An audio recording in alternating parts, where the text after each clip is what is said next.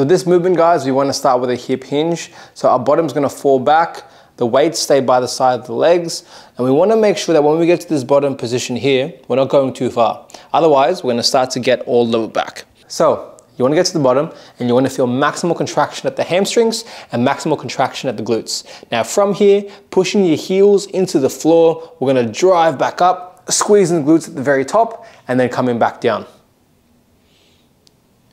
And again, making sure you don't go too low where your lower back starts to kick in.